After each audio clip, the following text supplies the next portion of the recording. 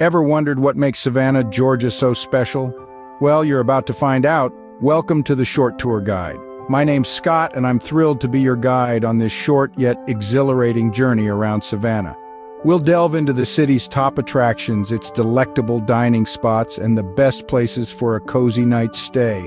If you thought you knew Savannah, think again. So strap in, folks.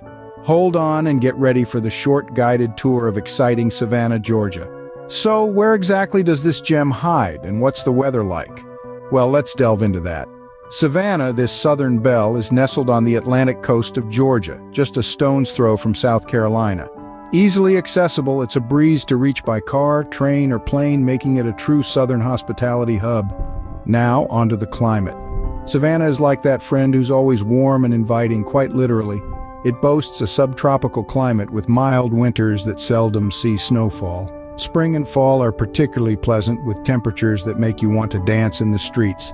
Summers, however, can be quite the scorcher, with high humidity that'll make your ice cream melt faster than you can say peach cobbler. But don't fret, the occasional summer thunderstorm is there to cool things down and add a dash of drama to the otherwise sunny narrative. Just remember, in Savannah, the weather isn't just a condition, it's a mood setter. Ready to have your breath taken away by Savannah's scenery? Well, buckle up. Savannah's natural beauty is an enchanting blend of Spanish moss-draped oak trees, verdant parks, and sun-dappled squares. Its distinctive architecture, a charming medley of 18th-century colonial mansions, antebellum homes, and modern marvels, adds to the city's allure. The serene river views are the cherry on top, making Savannah a visual feast for the eyes. And that's just the tip of the Savannah iceberg, my friends. Now let's dive into the heart of Savannah, its attractions. The city is a melting pot of history, culture, art, and natural beauty, and its attractions reflect that. First up, we have the historic Savannah River Street. Imagine cobblestone streets, century-old buildings, and the Savannah River as your backdrop. It's like stepping back in time. And if you're looking for a souvenir, the numerous shops dotting the street have you covered. Next, we have the beautiful Forsyth Park, the city's largest and oldest public park. It's the perfect spot for a picnic or a leisurely stroll. And the iconic white fountain, it's the cherry on top.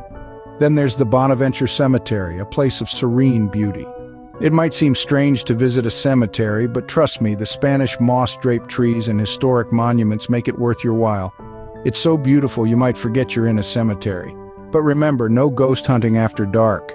Fourth on our list is the Telfair Museums, the oldest public art museum in the South. It's not one, not two, but three museums in one. Art lovers prepare to be amazed. Now let's talk about the Cathedral of St. John the Baptist. Its stunning stained glass windows and intricate architecture make it a must-visit. It's so breathtaking you might think you've stepped into a postcard. Next up is the Savannah Historic District. It's like a slice of history preserved in time. From beautiful antebellum homes to historic squares, this place has it all. It's so well preserved you might start looking for a horse and carriage. For our seventh attraction, we have the Mercer Williams House Museum. This house is famous for its role in the book and film Midnight in the Garden of Good and Evil. It's so intriguing you might start seeing things in the garden. Just kidding. Eighth on our list is the American Prohibition Museum. This place takes you back to the time of flappers and speakeasies. It's so immersive you might start feeling tipsy just walking through the door. Now, if you're a nature lover, the Savannah National Wildlife Refuge is a must-visit.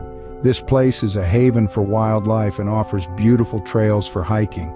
It's so peaceful you might forget you're just a stone's throw away from the city.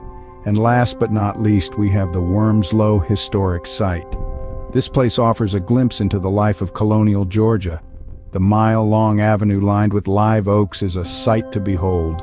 It's so picturesque you might feel like you're on a movie set. And that's your Savannah must-see list, folks. But remember, the city is a treasure trove waiting to be explored. So put on your explorer hat and get ready to discover the charm and beauty of Savannah. Happy exploring. Worked up an appetite? Savannah's culinary scene won't disappoint.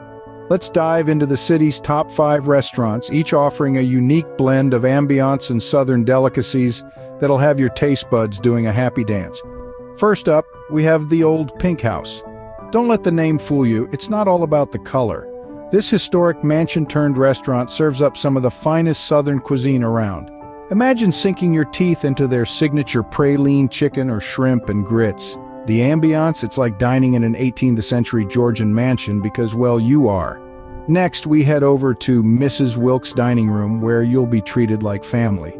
Here, Southern hospitality meets comfort food in a symphony of flavors. The fried chicken is legendary. But don't miss out on the collard greens, sweet potato souffle, and peach cobbler. It's like Thanksgiving every day minus the awkward family conversations. Our third stop is Elizabeth on 37th. Now, if you're thinking this is just another restaurant on a numbered street, think again. Elizabeth on 37th is a culinary institution boasting mouth-watering seafood and locally sourced veggies. The setting, an elegant southern mansion that screams fine dining. But don't worry, no need to whisper here. Moving on, we find ourselves at The Grey. Housed in a restored Greyhound bus terminal, this spot serves up southern cuisine with a modern twist. Try the country pasta or smoked collard greens. It's food so good you'll want to buy a bus ticket just to come back. Finally, we have Alligator Soul. No, you won't be dining with reptiles, but you will experience some of the most innovative farm-to-table dishes in Savannah. The exotic game and seafood are must-tries, and the ambiance, it's as soulful as the name suggests. Remember, in Savannah, every meal is a culinary journey.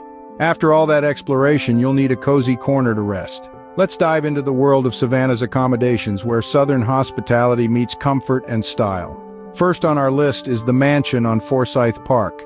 This luxury hotel is a refurbished Victorian mansion that oozes elegance. With its marble baths and a 600-piece art gallery, it's less like a hotel and more like living in a Gatsby novel. Next we have the Hamilton Turner Inn, a charming bed and breakfast that dates back to 1873. Don't let the age fool you, though. It's aged like a fine wine, or perhaps a well-preserved peach, considering we're in Georgia. Thirdly, we have the Alida, a tribute to the city's industrious past. With its chic modern design, it's for those who like their history served with a side of contemporary flair.